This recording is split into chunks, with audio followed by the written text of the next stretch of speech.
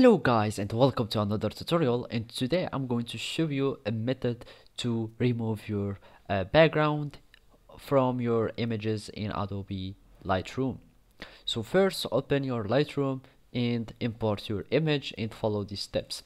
Basically this is just a simple method but uh, that will only work with uh, object that has a simple background like this and we are just going like uh, to recolor uh, the background and make it white so that it will be uh, removed.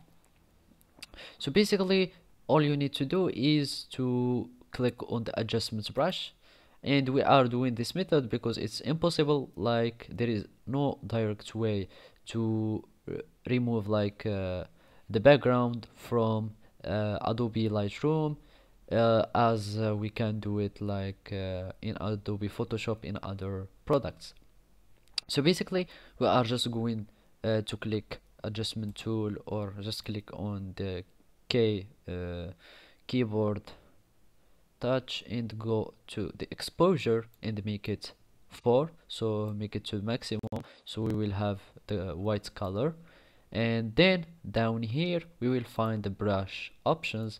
You can uh, start uh, you can maximize the size add the size. If you have like more uh, spaced area like this so you have and then the feather you can have it you can adjust it like make it bigger or smaller. So I will just have it like that. And the flow just make it be in the middle in between. So basically and now I'm just going to start recoloring my uh, area and I'm going to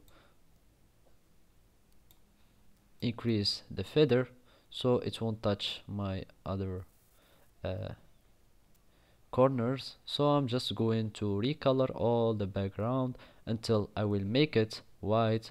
So let's just go from here like that and just remove all the areas from now. Let's just remove all the blue and now we have our object here. So now we can just click on alt and we can do the reverse. So we can remove the corners that we have just uh, affected. So for example like that I will include the corners and just take your time to make it as perfect as you can.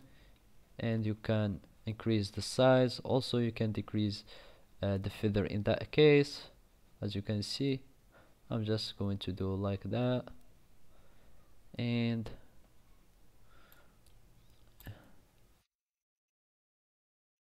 and you can decrease the flow if you don't want like to have some sharp uh, sharp coloration.